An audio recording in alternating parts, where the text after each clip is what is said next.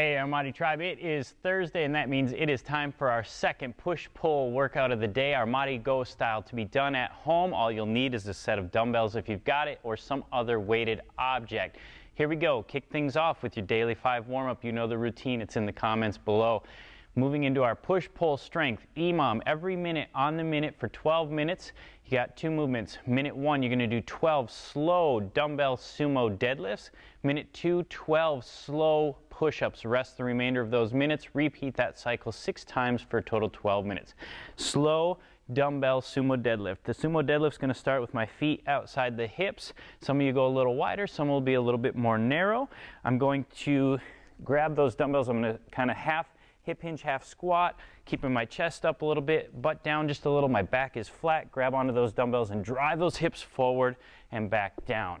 When I descend, I'm gonna shove my hips backwards, okay? Instead of just squatting, letting the knees come forward, keep those knees back just a little bit, okay? That is the sumo deadlift, and then slow push-ups. You could do them to a deficit on the dumbbells if you'd like. I want you to maybe count to two or three seconds on the way down, two or three seconds on the way up. One, two, three, one, two, three. Okay, do whatever you're comfortable with, but work the strength out of those push-ups.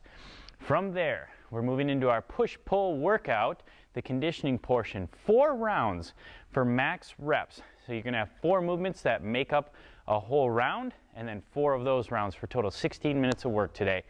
Minute one, sumo deadlift high pull. So we're gonna take that sumo deadlift we started in the strength component, we're gonna add a high pull component to it. Minute two, one minute of burpees. Minute three, dumbbell push press. Minute four, mountain climbers for that minute. Count all of the reps through that round, total it up, and then go back through three more times. So here are your movements. Sumo deadlift high pull, I'm going to go back into my sumo deadlift position, turn the dumbbells just a little bit, and I'm going to try to keep my knuckles pointed to the floor as I high pull up at the very top of my hips opening up. So it'll look like this. Here, boom, pull, and down. Here, pull. If that doesn't feel great, go ahead and take one dumbbell and you can hold the heads this way and high pull, or if you don't like that, you want it a little more elevated, take a single dumbbell again, grab it kind of like a, a goblet, and high pull out of it that way. Okay, burpees all the way to the floor, all the way up, and a hop at the top, keeping those feet hip width apart. If you need to step back, take a knee and lunge and up, that is perfectly fine as well.